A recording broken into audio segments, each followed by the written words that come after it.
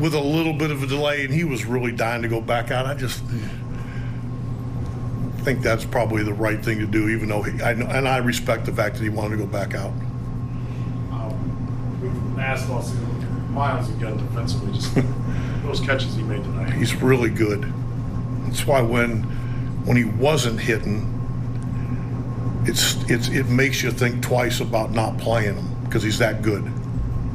De Los Santos, I know they say immaculate inning, and we've asked you about him recently, but just how nice is it to see him have to do that? That was it was fun to watch him get that excited because he doesn't usually show too much emotion, but he was kind of fired up. That was pretty cool.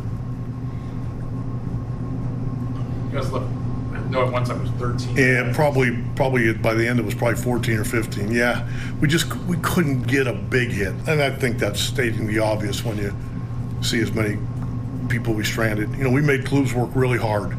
Just couldn't really put them away.